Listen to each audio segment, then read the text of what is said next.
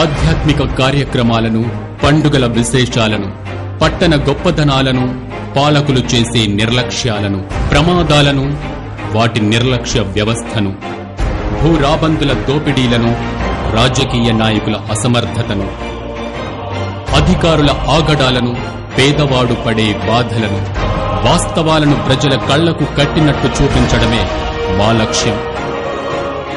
City cable news. ప్రజల చేతిలో ఆయుధం.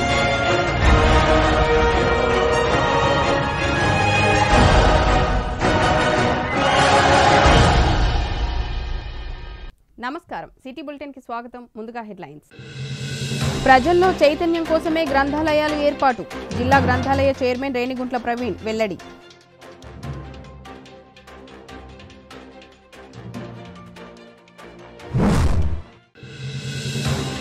మంచిర్యాల జిల్లా కేంద్రంలో విశ్వనాథాలయంలో వైభవంగా ప్రారంభమైన వెంకటేశ్వర స్వామి అధ్యయన బ్రహ్మోత్సవాలు. అధిక సంఖ్యలో భక్తులు పాల్గొనాలని చైర్మన్ సిరిపురం శ్రీనివాస్ పిలుపు. ఉక్రెయిన్లో బిక్కుబిక్కుమంటున్న కొమరంభీం జిల్లా విద్యార్థులు. ఎలాగైనా స్వస్థలాలకు చేరుకునేలా చేయాలని మీడియా సాక్షిగా ఆవేదన వ్యక్తం చేస్తున్న విద్యార్థులు. మంచిర్యాల పట్టణంలోని విశ్వనాథ్ ఆలయంలో అలివేలు మంగా సహిత వెంకటేశ్వర స్వామి అధ్యయనోత్సవాలు బ్రహ్మోత్సవాలు గురువారం ఘనంగా ప్రారంభమయ్యాయి. ఈ సందర్భంగా అర్చకులు భట్టాచార్య మాట్లాడుతూ శ్రీ వెంకటేశ్వర స్వామి ఆలయంలో ప్రారంభమైన అధ్యయన బ్రహ్మోత్సవాలు ఈ నెల ఇరవై ఎనిమిదవ తేదీ వరకు ప్రతిరోజు ఒక ప్రత్యేక కార్యక్రమం నిర్వహిస్తూ బ్రహ్మోత్సవాలు జరుగుతాయని భక్తజనులు అధిక సంఖ్యలో పాల్గొని స్వామివారి కృపకు పాత్రులు కావాలని కోరారు. విశ్వనాథ ఆలయ చైర్మన్ సిరిపురం శ్రీనివాస్ మాట్లాడుతూ ఈ నెల ఇరవై ఏడున ఆదివారం వెంకటేశ్వర స్వామి కళ్యాణ మహోత్సవం నిర్వహించనున్నట్లు ఆయన తెలిపారు. కళ్యాణ మహోత్సవానికి భక్తులు పెద్ద సంఖ్యలో పాల్గొనాలని కోరారు. ఈ కార్యక్రమంలో విశ్వనాథ ఆలయం ధర్మకర్తలు బోడ రైనా రాణిదాస్ ధర్మేందర్ బొడ్డు తిరుపతి ఇందూరి మల్లన్న జట్టి చరణ్దాస్ సంధ్య అర్చన గట్టయ్య ఎల్లయ్య ఈవో ముక్తారవి ఆలయ అర్చకులు తదితరులు పాల్గొన్నారు.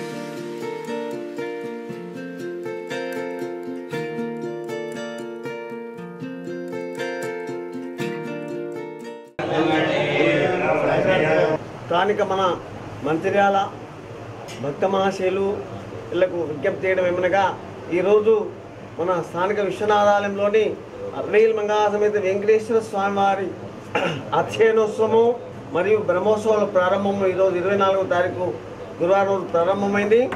తర్వాత రేపు శుక్రవారం రోజు స్వామివారి ఆళ్వారైనటువంటి నమ్మాళ్వార్లకు పరమోత్సవం జరుగుతుంది. మనము స్వామివారి కృపను పొందడం గురించి అతి ప్రత్యేకమైన కొన్ని సంవత్సరాల క్రితం మనం పది అమర దూరం పోయినా కానీ దొరికినటువంటి ఆ కృప మనకి ఇప్పుడు దొరుకుతుంది. పరమపదోత్సవం అనే కార్యక్రమం ఉంటుంది. అర్చనోత్సవం అధ్యయనోత్సవం శనివారం రోజు ఇరవై ఆరో తారీఖు నుండి స్వామివారికి బ్రహ్మోత్సవ అంకురార్పణం అవుతుంది.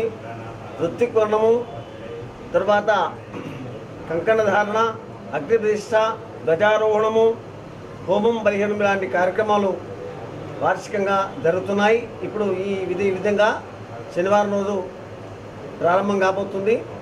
మరియు ఆదివారము ఇరవై ఏడవ తారీఖు రోజు స్వామివారి కళ్యాణ మహోత్సవం సాయంత్రం ఏడు గంటలకు మహావైభవంగా భక్తులు మహాశైలతో జరుపుకొని ఆ తర్వాత అన్నదాన కార్యక్రమం కూడా ఉంటుంది. ఆ సోమవారం తెల్లవారి ఇరవై ఎనిమిదో తారీఖు రోజు స్వామివారికి శ్రీపుష్పయాగం అనే కార్యక్రమం ఉంటుంది. వార్షికంగా మన స్వామివారు మహావైభవంగా ఈ కార్యక్రమాలు జరుపుకుంటున్నారు.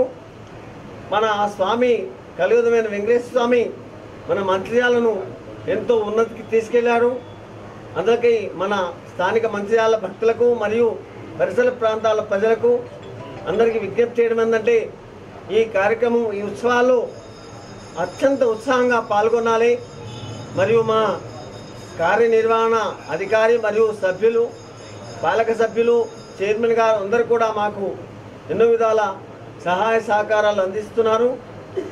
ప్రత్యేకంగా ఏంటంటే మన మంత్రిగాళ్ళ భక్తులు అందరు కూడా ఆ స్వామివారి కోసం వెళ్ళగని అన్ని రకాల సేవలు చేస్తున్నారు.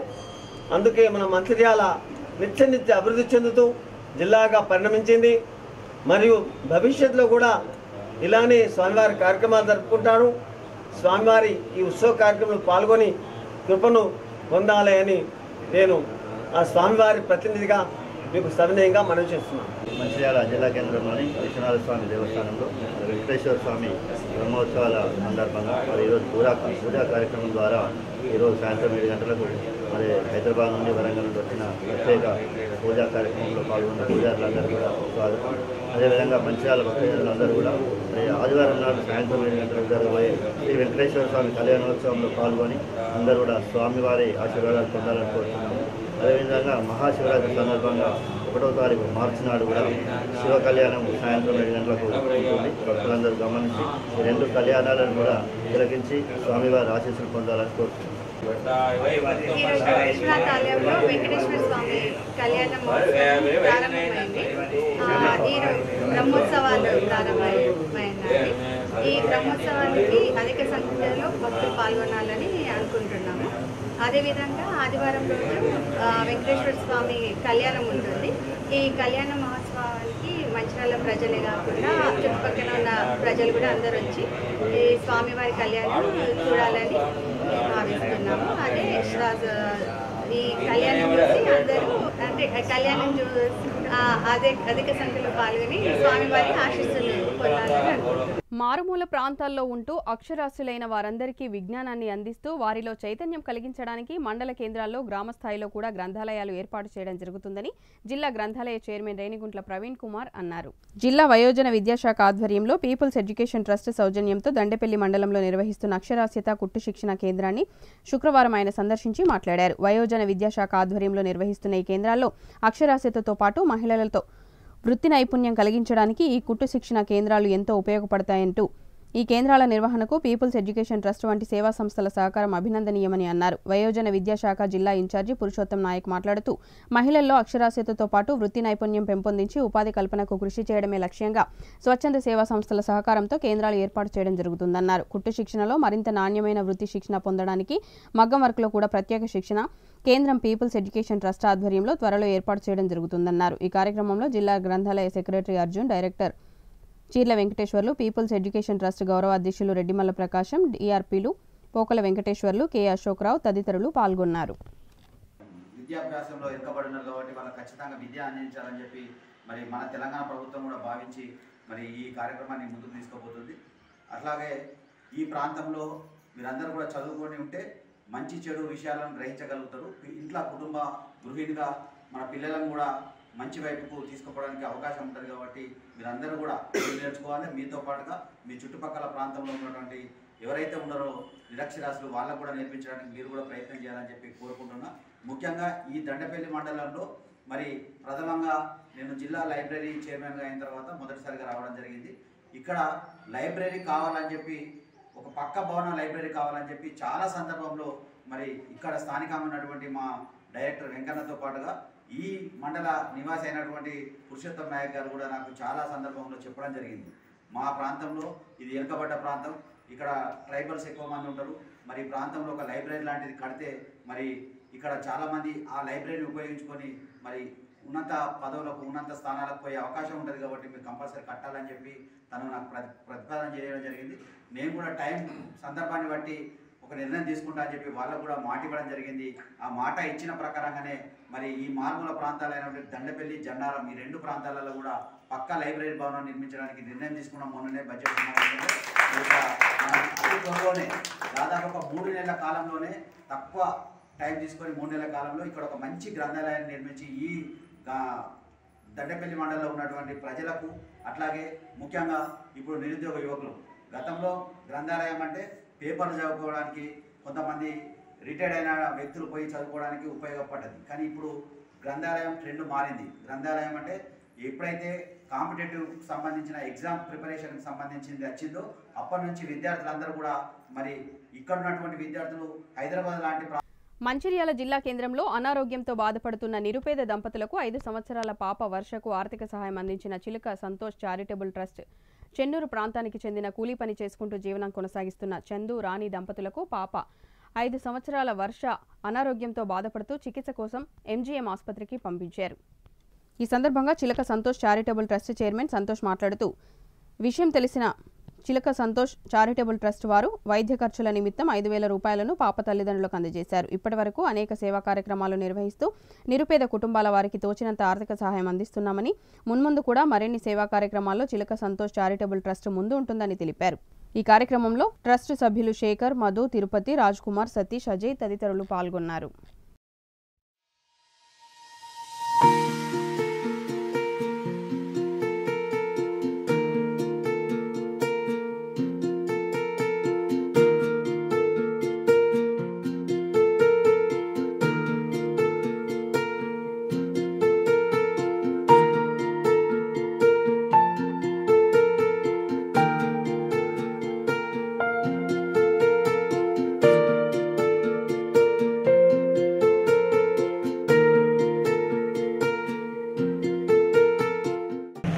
చెన్నూరు నియోజకవర్గంలో నివసిస్తున్నటువంటి చందు రాణి గార్ల కూతురైనటువంటి వర్ష ఐదు సంవత్సరాల చిన్న పాపకి అనారోగ్య కారణంగా ఆ బిడ్డను ఇక లోకల్ హాస్పిటల్లో చూపించినప్పుడు ఆ బిడ్డకి వైద్యం నిమిత్తము ఎంజిఎం హాస్పిటల్కు ఇక్కడి వైద్యులు ఎంజిఎం హాస్పిటల్కు తరలించడం జరిగింది. ఎంజిఎం హాస్పిటల్కు తరలించిన ఆ బిడ్డ ఇప్పుడు పూర్తిగా కోమాలోకి పోయి కోలుకోలేని పరిస్థితుల్లో ఆ బిడ్డ ఉంది. ముందుగా ఆ బిడ్డ కోలుకొని తన చిట్టి చిట్టి చిట్టి పాదాలతోటి మరలా మన కళ్ళ ముందు ఆడు ఆడుకోవాలని చెప్పి ఆ భగవంతుని ప్రార్థిస్తూ అదేవిధంగా ఆ తల్లిదండ్రులు కూలి పని చేసుకునే వాళ్ళు రెక్కాడితే కానీ డొక్క నింపుకోలేని పేద పరిస్థితుల్లో నివసిస్తున్నటువంటి ఆ తల్లిదండ్రులకు ఈరోజు చిలుక సంతోష్ చారిటబుల్ ట్రస్ట్ ఆధ్వర్యంలో వాళ్ళకి ఐదు వేల రూపాయలు సహాయం చేయడం జరుగుతుంది. అదేవిధంగా ఇంకా కూడా మానవత్వం ఉన్న ప్రతి ఒక్కరూ ఆ బిడ్డను ఆదుకోవడానికి ముందుకు రావాలని చెప్పి తెలియజేస్తూ అదేవిధంగా ఇక మీదట కూడా ఇంకా ఏమైనా ఖర్చులున్నా కూడా చిలుక సంతోష్ చారిటబుల్ ట్రస్ట్ ఆ కుటుంబానికి ఆదరణగా ఒక తోడుగా ఒక నీడగా ఉంటుందని చెప్పి తెలియజేయడం జరుగుతుంది. కొమరంభీం ఆసిఫాబాద్ జిల్లాలోని చింతల మానేపల్లి మండలం లంబడిహెట్టి గుప్పగూడెం గ్రామానికి చెందిన జటోత్ శ్యామ్లాల్ కుమారుడు జటోత్ సాయి కిరణ్ రెబ్బెల మండలానికి చెందిన ఆర్ఎంపీ డాక్టర్ రవి స్వరూపల కుమారుడు గుండు హరిప్రసాద్లు ఉక్రెయిన్ వైద్య విద్యను అభ్యసిస్తున్నారు. ఉక్రెయిన్ రష్యా మధ్య యుద్ధం జరుగుతున్న వేళ వైద్య విద్య కోసం వెళ్ళిన సాయి కిరణ్ హరిప్రసాద్లు అక్కడ చిక్కుకుపోవడంతో కుటుంబీకుల్లో భయాందోళన నెలకొంది. వారి తల్లిదండ్రులు సాయి కిరణ్ హరిప్రసాద్లతో ఫోన్లో మాట్లాడగా క్షేమంగా ఉన్నట్లు తెలిపారు. మిత్రులతో ఇండియా బయలుదేరుతామని వెళ్ళగా మధ్యలో చిక్కుకుపోయామన్నారు. ఇప్పటికైతే తమ ప్రాంతంలో బాంబుల దాడి జరగలేదన్నారు. తాము ఉండే ప్రాంతంలో పెద్ద పవర్ ప్లాంట్ ఉందని దానిపై దాడి చేసే అవకాశం ఉన్నట్లుగా తెలుస్తుందని పేర్కొన్నారు. దాడి జరిగితే రేడియేషన్ వల్ల ఈ ప్రాంతానికి ముప్పు వాటిల్లే అవకాశం ఉందని ప్రభుత్వం తమ రక్షణ కోసం చర్యలు తీసుకోవాలని వారు కోరారు. అందరికీ నమస్కారం. నా పేరు గుండు హరిప్రసాద్. నేను ఇక్కడ Ternopil national medical university యుక్రెయిన్లో సెకండ్ ఇయర్ ఎంబీబీఎస్ చేస్తున్నాను. ఇక్కడ వార్ గురించి చూసినట్టయితే ఈస్ట్ సైడ్లో ఎక్కువ వార్ జరగడం అనేది ఉన్నది. దాని ఎఫెక్ట్ వెస్ట్ సైడ్ ఉన్న మాకు కూడా కొంచెం కొంచెం జరగడం. అంటే మా మీద కూడా ప్రభావం పడేటట్టే అనిపిస్తుంది. సైరన్లు అవి ఇవి నైట్ మార్నింగ్ మోగడం అనేది జరుగుతుంది. మళ్ళా మా పేరెంట్స్ కూడా కొంచెం టెన్షన్ తీసుకుంది. సైరన్లు అవి ఇవి నైట్ మార్నింగ్ మోగడం అనేది జరుగుతుంది. మళ్ళా మా పేరెంట్స్ కూడా కొంచెం టెన్షన్ తీసుకుంటున్నారు మా గురించి. ఎంత తొందరగా అయితే అంత తొందరగా రాష్ట్ర ప్రభుత్వం కేంద్ర ప్రభుత్వం ఏదన్నా చర్యలు తీసుకోవాల్సిందిగా మమ్మల్ని ఇంటికి వెనుకకు తీసుకువెళ్ళాల్సిందిగా కోరుచున్నాము. సోమగూడెం నేషనల్ హైవే పనుల్లో భాగంగా సోమగూడెం వద్ద రహదారికి ఆనుకొని ఉన్న దేవాలయాలను తొలగించేందుకు నేషనల్ హైవే అధికారులు రావడంతో గ్రామస్తులు అడ్డుకున్నారు. పనులను అడ్డుకోవడంతో Bellampalli RDO Shyamaladevi national highway project అధికారి రవీంద్రరావు గ్రామస్తులతో మాట్లాడారు. ఈ సందర్భంగా గ్రామస్తులు మాట్లాడుతూ దేవాలయాల తొలగింపు నేరుగా రావడం సరైంది కాదని అధికారులకు వివరించారు. దేవాలయాలు తొలగించాలంటే వేద పండితుల సలహా మేరకే తొలగించాలని లేదంటే సమస్యలు ఎదురవుతాయని వివరించారు. ఈ మేరకు వేద పండితులను పిలిస్తే మీరే మాట్లాడి దానికి సంబంధించిన సమస్యలు పరిష్కరించాలని అప్పటి వరకు పనులు చేపట్టవద్దని పేర్కొన్నారు. దీంతో పాటు పలువురు దేవాలయ తొలగింపును తీవ్రంగా ఖండించారు. ఎన్నో సంవత్సరాలుగా దేవాలయం ఇక్కడ ఉంటుందని చరిత్ర కలిగి ఉందని అతి శక్తివంతంగా వెలిసిన దేవాలయాలను తొలగించడం సరైంది కాదన్నారు. రోడ్లపై ఎన్నో దేవాలయాలు ఉన్నా పక్క నుంచి రోడ్లు తీస్తున్నారని కానీ ఇక్కడ మాత్రం ఇలా చేయడం సరికాదన్నారు. ఎంతో శక్తివంతంగా ఉన్న దేవాలయం తొలగించడం మానుకోవాలని సూచించారు. దీంతో ఈ మేరకు గ్రామస్తులు నేషనల్ హైవే అధికారుల సమక్షంలో శనివారం ఉదయం సమావేశం నిర్వహించుకుని అభిప్రాయం తెలపాలని అధికారులు సూచించారు. ఈ కార్యక్రమంలో సర్పంచ్ ప్రమీలాగౌడ్ గ్రామస్తులు అడప పాపయ్య దూడం మహేష్ కుక్క రామచందర్ వెంకటేష్ రమణ శ్రీకాంత్ తదితరులు పాల్గొన్నారు.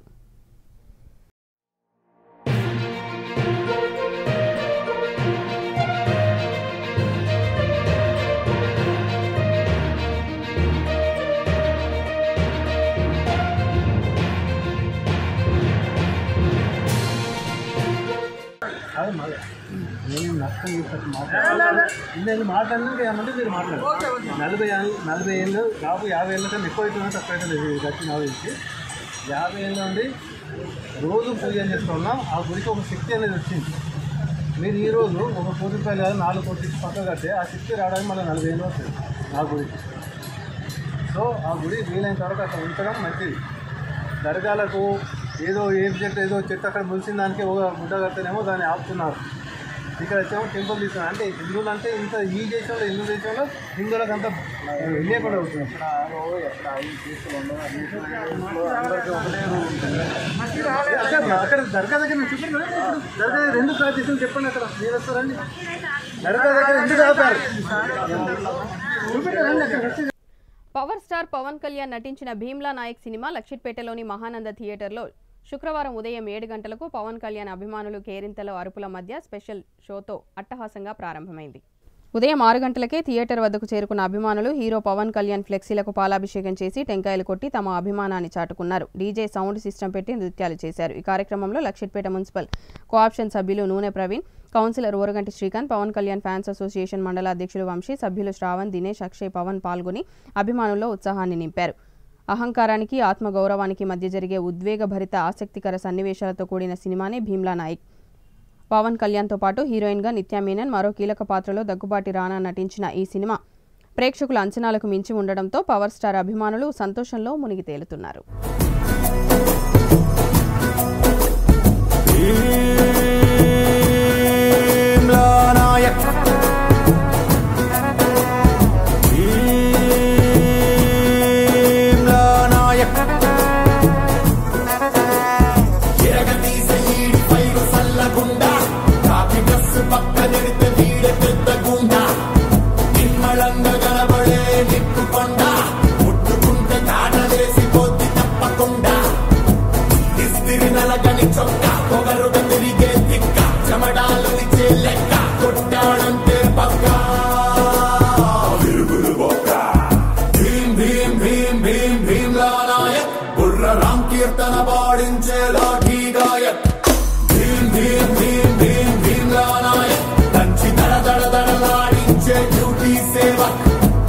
చుట్టునట్ట సవరించినాడు సింగాలి తూలు విదిలించినట్టే ఆ సత్తునట్ట మొడతెట్టినాడు రంగాన పులులు గాండ్రించినట్టే ఆ కాలి బూటు విగట్టినాడు తడగొట్టి వేట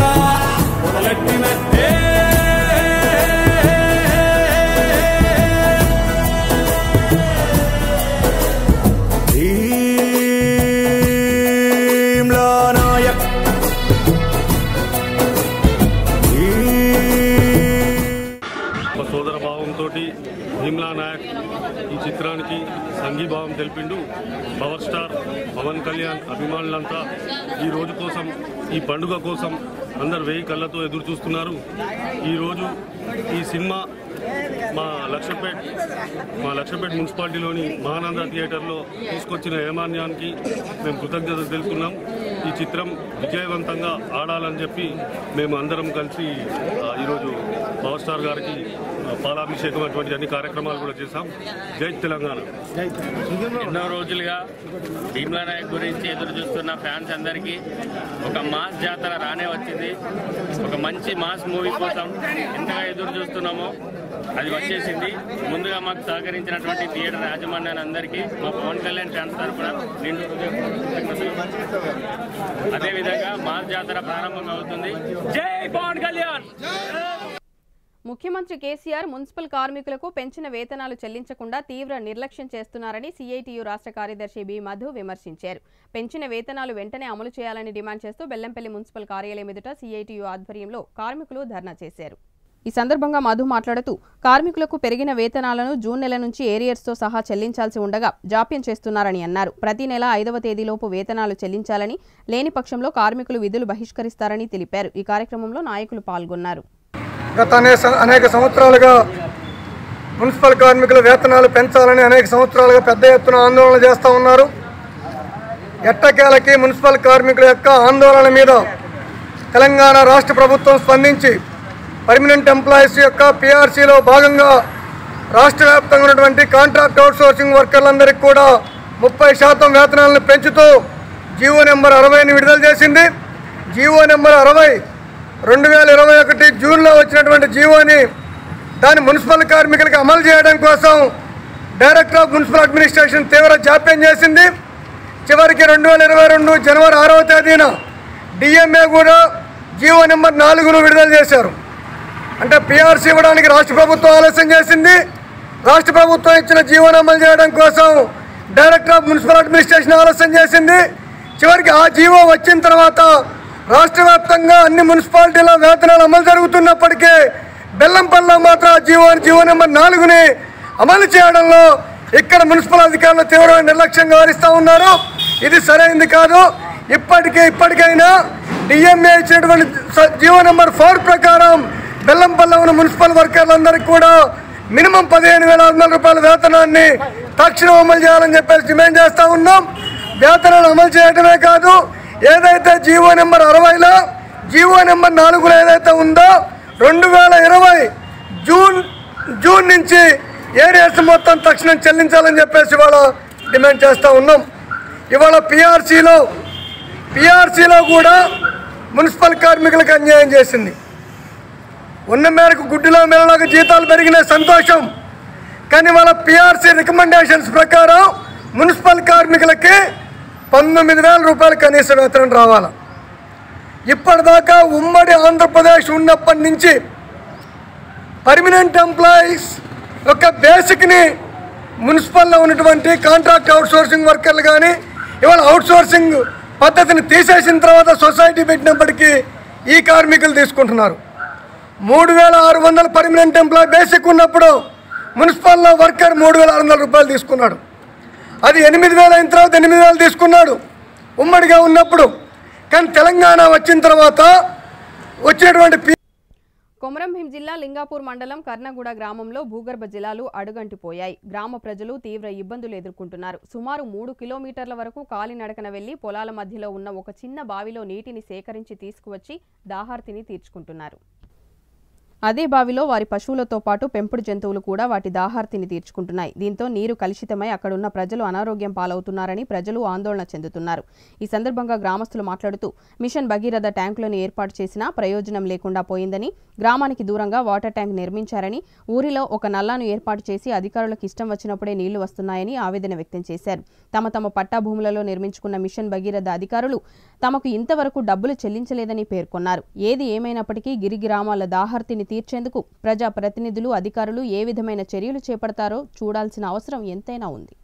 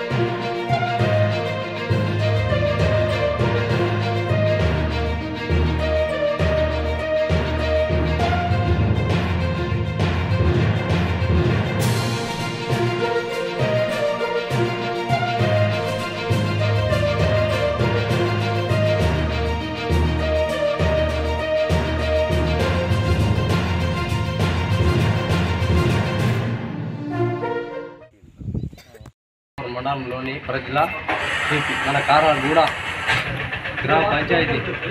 మనకు ఎందుకంటే నీళ్ళు లేదు. అందుకోసం మేము ఇబ్బంది పడుతున్నాము తిప్పలు పడుతున్నాము ఎమ్మెల్యే సార్ పోయినాము.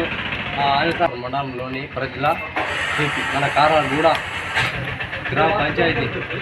మనకు ఎందుకంటే నీళ్ళు లేదు. అందుకోసం మేము ఇబ్బంది పడుతున్నాము తిప్పలు పడుతున్నాము ఎమ్మెల్యే సార్ పోయినాము. ఆ దగ్గర ఏం- మన పోయిన అధికారులు అందరూ తెలంగాణలో అందరి దగ్గర అందరి దగ్గర పోయినాం కానీ మాకు నీళ్ళు లేదు. అందరికో అందుకోసమే మేము ఇన్నట్టు తిప్పలు పడుతున్నాము. మూడు కిలో మూడు కిలో మూడు కిలో మూడు కిలోమీటర్ల నుంచి నేను మేము- తీసుకొస్తున్నాం ఆపతి పడుతున్నాం. నాకు కూడా నేను తిప్పలు పడుతున్నాము. ఇంతే నూతున్నది. అందుకోసం మేము ఎందుకంటే మాకు ఆ పై అధికారులు అంత తెలంగాణ నుంచి పై అధికారులు మనకు రావాలని మనకు చూసుకోవాలి. ఏం బాధ ఉన్నది ఏం తిప్పులు ఉన్నది అందరు కూడా మాకు చూసుకోవాలని మేము అందరికీ నమస్కారం పెట్టి మేము మొక్కుతున్నాం. కానీ మాకు అందరికి తిప్పాలు కూడా ఉండరు కానీ మాకు అందరూ మనకు సుఖంగా చేసుకోవాలి. మన పిల్లకాళ్ళు ఉన్నారు చిన్న పెద్ద ఉన్నారు అందరికి కూడా తిప్పలు పడినా కూడా మాకు చేసుకోవాలని అందుకోసం మేము ధన్యవాదాలు చెప్పుకుంటూ మేము అందరి ప్రజలకు రామరావు జిల్లా కుమరం ఆసిఫాబాద్ జిల్లా. మండల్ లింగాపూర్ జీపీ లొద్దిగూడ గ్రామం అనే అయ్యా దయచేసి లింగాపూర్ మండల్లో నుంచి లొద్దిగూడ గ్రామ పంచాయతీ వాటర్ ట్యాంక్ కట్టిండ్రు. కానీ మా ఊర్లో వాటర్ ట్యాంక్ కట్టలేదు. ఎందుకు? పైసలు కూడా ఇవ్వలేదు. మా ఊర్లో ఒకటే నెల తీసిండ్రు. ఎందుకు? మేమంతే మనుషులు కావా? ఎంసీపీఐయు పొలిట్ బ్యూరో సభ్యులు తాండ్ర కుమార్ సంస్మరణ సభను విజయవంతం చేయాలని ఆ పార్టీ జిల్లా కార్యదర్శి సబ్బని కృష్ణ పిలుపునిచ్చారు. శుక్రవారం బెల్లంపల్లి పట్టణం కొత్త బస్టాండ్ చౌరస్తా అమరవీరుల స్తూపం వద్ద ఆ పార్టీ ఆధ్వర్యంలో వచ్చే నెల ఆరున హైదరాబాద్లో నిర్వహించే తాండ్ర కుమార్ సంస్మరణ సభ పోస్టర్ను ఆయన విడుదల చేశారు. ఈ కార్యక్రమంలో నాయకులు జాగటి రాజలింగు సబ్బని రాజేంద్ర ప్రసాద్ ఆరెపల్లి రమేష్ రాధా శ్రవంతి సరస్వతి రామస్వామి ఆకాష్ వంశీ ప్రసాద్ మిట్టపల్లి కుమార్ సుమన్ తదితరులు పాల్గొన్నారు. లేని రాపిడి లేని నవ సమాజ నిర్మాణం కోసం సమ సమాజ స్థాపన కోసం జనతా ప్రజాస్వామిక విప్లవం కోసం ఎర్ర కోటాపై ఎర్ర జెండాను ఎగరవేయడం కోసం అహోరాత్రులు నిర్విరామంగా అలుపెరుగని ఎన్నో ప్రజా ఉద్యమాలు చేసిన తుది శ్వాస వరకు ఎర్ర జెండాని విడవని ఎర్ర జెండా కోసమే పేద ప్రజల కోసమే బడుగు బలహీన వర్గాల కోసమే రెక్కాడితే డొక్కాడే కష్టజీవుల కోసమే పనిచేసి తుది శ్వాస వదిలిన అసూలు బాసిన అమర వీరుడు విప్లవ జ్యోతి పోరాటాల శిఖరం. అన్న అమరజీవి తాండ్ర కుమార్ అన్న ఈనాడు మనకు లేడు. అన్న ఈ నెల పద్నాలుగవ తారీఖు నాడు హైదరాబాద్లోని ఆసుపత్రిలో మరణించడం జరిగింది. అన్నకు విప్లవ జోహార్లు అర్పిస్తూ భారతదేశ వ్యాప్తంగా కూడా అన్ని శాఖలు ఎంసీపీఐయు పార్టీ అన్ని శాఖలు సంతాప సభలు సంస్మరణ సభలు ఘనంగా అన్నకు అన్నకు జరుపుతూ నివాళులర్పిస్తూ అన్నయ్య అన్న ఆశయ బాటల్లో పయనిస్తామని ప్రతిజ్ఞ చేస్తా ఉన్నారు.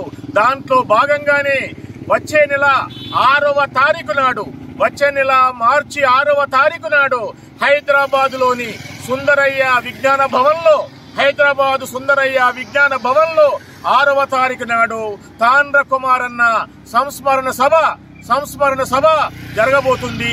ఈ సభకు మంచిర్యాల జిల్లా ఉమ్మడి ఆదిలాబాద్ జిల్లా నుండి కూడా అన్ని వర్గాల ప్రజలు పార్టీ ప్రజా సంఘాల నాయకులు కార్యకర్తలు ప్రజలు కూడా అన్ని వర్గాల ప్రజలు కష్టజీవులు కార్మికులు అందరు కూడా పెద్ద ఎత్తున ఈ సంస్మరణ సభలో పాల్గొని విజయవంతం చేయాల్సిందిగా ప్రజలందరికీ ఈనాడు విజ్ఞప్తి చేస్తూ ఈనాడు మంచిర్యాల జిల్లా బెల్లంపల్లి పట్టణంలోని కొత్త బస్టాండ్ చౌరస్తాలో తాండ్ర కుమార్ అన్న అమరజీవి తాండ్ర కుమార్ అన్నకు జోహార్లు అర్పిస్తూ ఈ వాల్ పోస్టర్లు విడుదల చేస్తా ఉన్నాం. బులెటిన్ ముగించే ముందు మరోసారి ముఖ్యాంశాలు. ప్రజల్లో చైతన్యం కోసమే గ్రంథాలయాలు ఏర్పాటు. జిల్లా గ్రంథాలయ చైర్మన్ రేణిగుంట్ల ప్రవీణ్ వెల్లడి.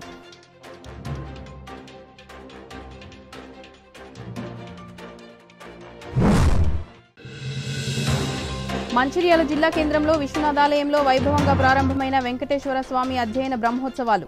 అధిక సంఖ్యలో భక్తులు పాల్గొనాలని చైర్మన్ సిరిపురం శ్రీనివాస్ పిలుపు.